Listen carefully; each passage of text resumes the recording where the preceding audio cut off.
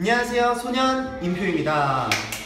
투니버스 최초 웹 드라마 빛나는 나라.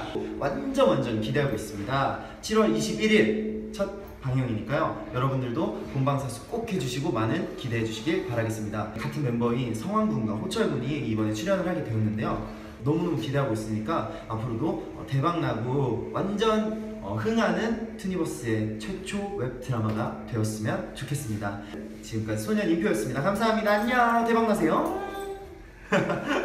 안녕하세요 소연수입니다 네 투니버스 최초 웹드라마 빛나는 나라에 또 호철군과 성환군이 또 출연한다고 들었는데 맞아요 가지고 있는 끼를 마음껏 발휘했으면 좋겠습니다 잘할 거라 믿습니다. 네 그러면 둘셋 화이팅! 안녕하세요. 소년입자 김웅입니다. 프리벅스 최초 웹드라마 빛나는 나라 방영을 축하드립니다. 와! 거기 소년입자 성환군과 호철군이 출연한다고 얘기 들었습니다. 그럼 저 또한 무조건 본방 사수를 하겠습니다. 여러분들 본방 사수 하세요. 보이스 24! 안녕하세요. 소년24의 재민 찬이입니다. 저희 투니버스 첫 방송 웹드라마 빛나는 나라 소년 성환군과 소년 호철군이 함께하게 되는데요. 많은 기대와 관심 부탁드려요.